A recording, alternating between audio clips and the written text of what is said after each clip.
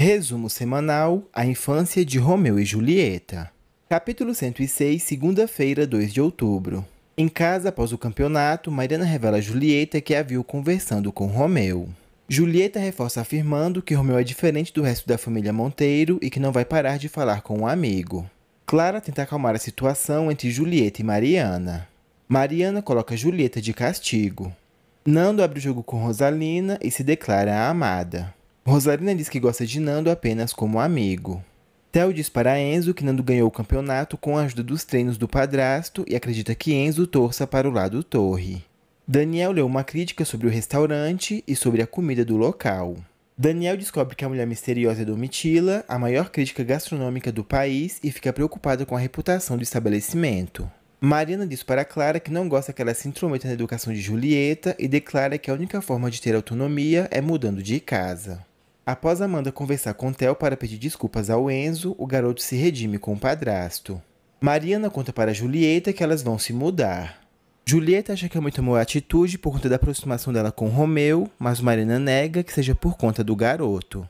Dimitri fala das aventuras no mundo da imaginação para Leandro, que não se lembra sobre o fato, apenas que o desenho de Flávia Monteiro que Dimitri carrega é um mapa metamórfico. Romeu e Nando pedem para Leandro para continuar a treinar no SEC.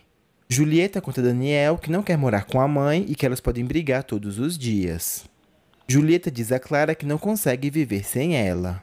Capítulo 107, terça-feira, 3 de outubro. Mariana reclama para Daniel que o aluguel de casas pelo aplicativo está caro e Daniel convida a ex-esposa para morar com ele. Daniel fala que quer participar mais da criação da filha e que Mariana não vai precisar pagar aluguel. Leandro libera os netos para continuar no SEC e avisa a família. Amanda comenta que tem muito serviço e Nath elogia a mulher magnífica que ela é, que cuida dos filhos, da casa e do trabalho com muito amor. Ellen diz a Thelma que não tem mais medo do bicho papão. Glaucia pede para Nando contar tudo o que acontecer no SEC, principalmente sobre Hélio. Romeu entra no lado Vila e Karen o persegue, mas Romeu percebe. Romeu comenta com Karen que sabe que ela é espiã de Vera e pede para ela parar.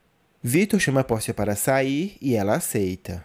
Leandro quer saber de Enzo se a situação do SEC é crítica. Enzo se nega a responder e diz que não falaria da situação da Monte Holding ao Hélio.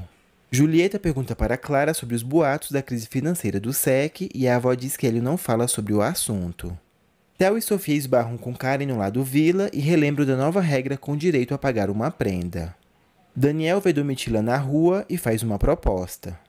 Clara abre uma carta romântica que chegou em sua casa. Ela repara que é uma carta que contém a mesma escrita no mesmo papel de uma pessoa misteriosa que escrevia no passado.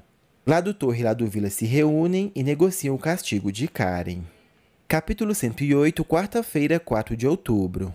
Como prenda, Karen limpa a chuteira do lado Vila e diz aos rivais que quando eles vacilarem, ela estará pronta para a vingança. Hélio recebe da subprefeitura uma notificação de fiscalização nas contas do SEC feita por uma denúncia anônima. Enzo fica perplexo e Hélio comenta com Enzo que vai ter que mostrar as contas como de fato estão. Hélio pergunta se Enzo comentou com Leandro. Aproveitando o sucesso do karaokê no Monte Mercado, Vitor pede novos benefícios à Vera. A chefe alega que ele tem pouco tempo no emprego e que precisa ganhar mais confiança. Vitor manda Glaucia convencer Vera de dar um aumento. Ele ameaça Glaucia com a história do hacker. Karen limpa as chuteiras, mas faz um grande nó entre todas elas. Hélio fica zangado com as crianças. Ele diz que não aguenta mais as discussões entre os alunos. Muki, Chilique e Fedengosa vão até o armazém para furtar comida. Amanda faz acordo. Se as crianças ajudarem no armazém, ela doa comida a eles. Dimitri, Ellen e Nath perseguem Trapaça que entra em uma casa. Fausto pede a Bernardo que o Instituto Casa de Castanheiras produza uma peça. Glaucia revela a Fred que fez uma denúncia anônima ao SEC e deseja pegar o lugar de Hélio. As crianças do lado Vila comentam no intervalo que o treino do SEC foi muito difícil e que Hélio passou do ponto nas broncas. Julieta conversa com Hélio, que comenta que o dia não está fácil. Julieta diz que ele pegou pesado demais. Alex chama Lívia para ir ao cinema. Ela aceita. Patrick tenta aprender skate para conquistar Julieta e Daniel ajuda o garoto. Muki, Chilique e Fedengoz ganham comida e aprendem que podem ganhar coisas de forma honesta. Capítulo 109, quinta-feira, 5 de outubro. Trapaça sai da residência que estava e Dmitri, Ellen e Nath chamam a dona da casa. A mulher diz que a trapaça chama Isabel e que é a mãe da garota. Fausto se intromete no encontro de Posse e Vitor e janta com eles no armazém. Bassânio acha que a amada está namorando o Vitor. Após Glaucio e Fred insistirem, Nando revela que Hélio estava bravo no treino. A sós, o casal comemora.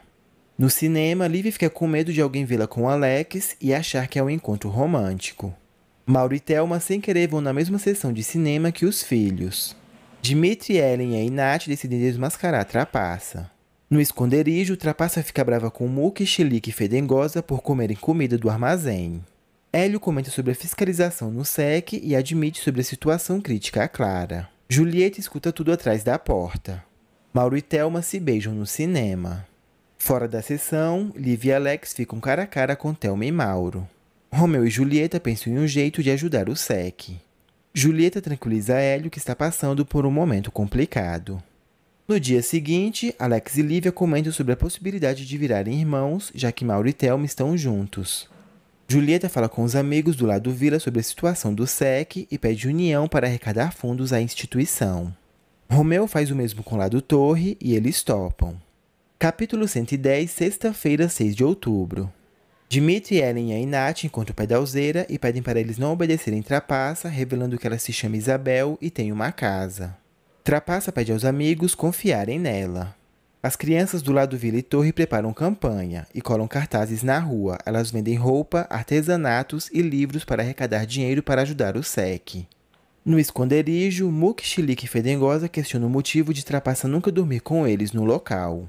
Fausto vai até a Monte Holding e conta tudo a Leandro sobre a mobilização das crianças.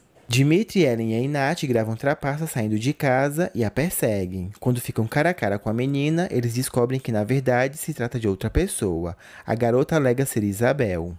Hélio fica nervoso ao ver cartazes na rua mencionando ajudar ao SEC e rasga todos que vê pela frente. Domitila volta ao restaurante do armazém. Leandro acredita que Hélio solicitou que as crianças fizessem a campanha e acha inadmissível. Hélio comenta sobre a campanha com Thelma e que deseja saber quem está por trás da ação. Lado Vila e Lado Torre contam o total do valor arrecadado. Mook, Fedengosa e Chilique tentam procurar alguma pista no esconderijo que comprove algo contra a trapaça.